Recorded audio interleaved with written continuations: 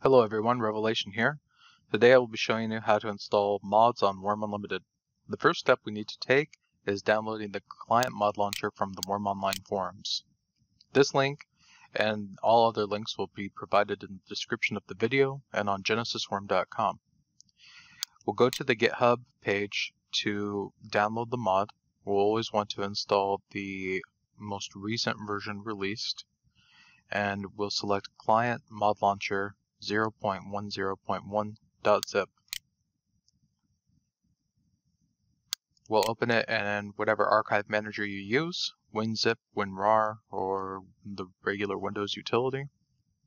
And we need to move these files into our Wurm Launcher directory. The easiest way to do that is to open Steam, go to our library, right-click on Wurm Unlimited, and click Properties. In our Properties window, we'll select the Local Files tab and we'll click Browse Local Files. Here's our Wurm Unlimited directory. Now we'll need to go into our Wurm Launcher folder.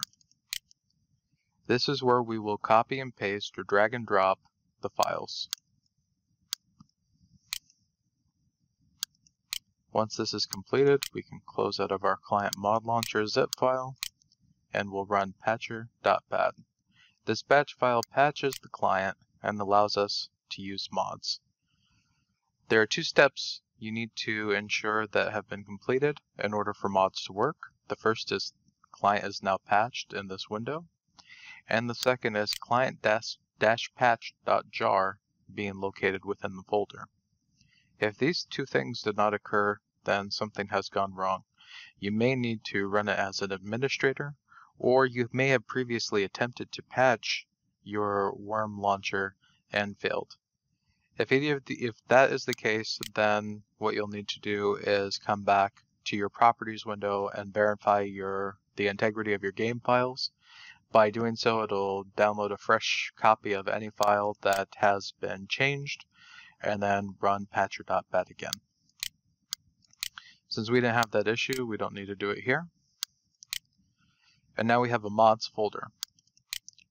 The client mod launcher comes with connection fix, custom map, and server packs.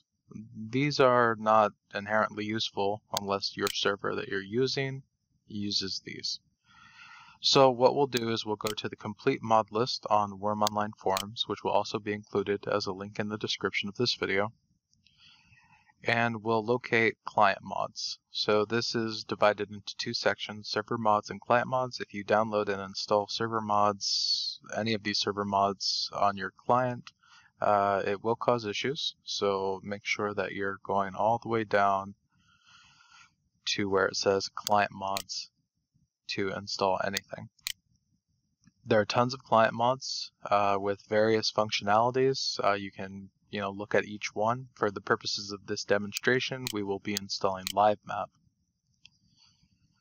So LiveMap shows that you'll have a new minimap window while you're playing Wurm that you can choose to have in 3D, flat, or topographical view, as well as have a cave view to sort of help you navigate around and locate ores. It does require client mod loader, which we have already installed, so we'll go to the GitHub page to install LiveMap, and it's a very similar process.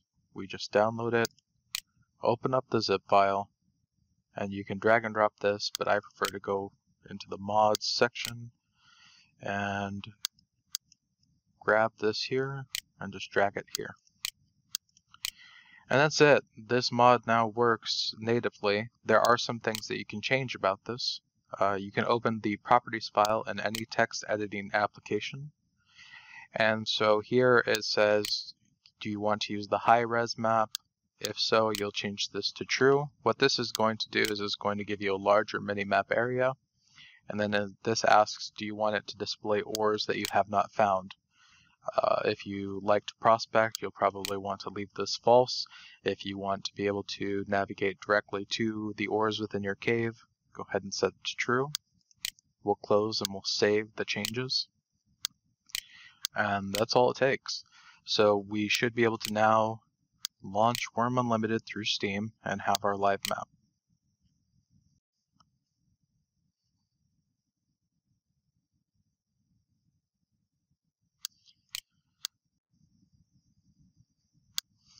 Now here we are in game with our new live map.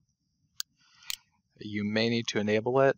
By doing so, you can either just go to stop main menu or press escape and then click live map and here it is.